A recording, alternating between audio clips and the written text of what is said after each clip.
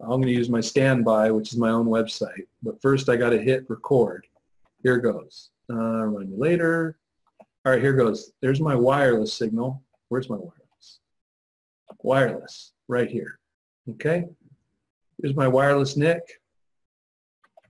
Boom. I'm recording. Firefox. I'm going to go to my website. There's my website. Okay. Then I'm going to close my website. Okay. I'll stop recording. In that short period, I recorded, I captured 2,188 packets. Right, that was literally under five, that was five seconds. 2,188 packets. What do we want to see? We're going to filter. I'm going to help start filtering this out, right? So I'm going to put in my filter here. This is something new and that I learned. Not UDP. Um, and not SSL. And what else? And, okay, not SSL and not ARP. And let's see here. Not UDP, not SSL, not ARP, okay, um, and not SNMP. This is, I'm trying to narrow it down a little bit. This is, I learned this from a book the other day, which is pretty cool. Uh, and not ICMP. Let's try that. That'll narrow it down a little bit. Go.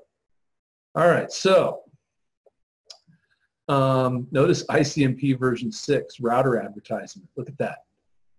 F, FF02 colon colon 1, router advertisement. Woohoo! Pretty sweet, right? You guys know what that is, FF02 colon colon 1, router advertisement, right? Trying to get the IPv6 going. Pretty sweet. All right, now let's see here. What's this over here? Oh, look at this. See this green spot right here? This is my web page, this green spot. All this green here, boom. It's my web page. All right, let's take a look at the top of it. There it is. A SYN, a SYN and an ACK, and an ACK. SYN, SYN and an ACK, and an ACK. And then notice after the three-way handshake, hey, I want to get HTTP, right? I want to get a web page, okay? Um, and what web page do I want to get? Let's see here. What were we trying to get? dalvergetti.com. There it is. So out of 2,000 packets, I just narrowed it down to the three-way handshake with ease, and then the HTTP, and then notice this move is sweet. Not UDP and not SSL and not ARP and not SNMP and not ICMP, trying to narrow down what I wanted. Um, there's so many cool things you can do. Not only that, you could totally change these fields. Do you see how it says source IP address, destination IP address, then protocol, and then the ports are right here right? The ports are right here. See port 80?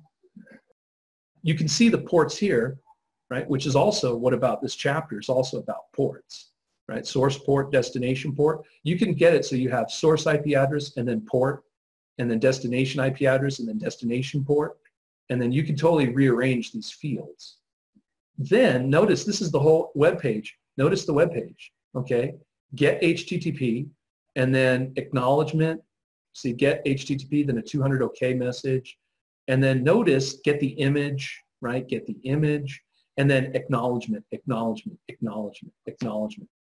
Acknowledging each step of the way. Notice the sequence numbers incrementing. Notice the acknowledgements, the window size, the length, TCP segment of a reassembled PDU. Woohoo! Awesome. See all these ACKs? That's the conversation getting acknowledged each step of the way until finally, you know, you have the JPEG image, until finally you have the JPEG image, I guess, and then um, the favicon or whatever.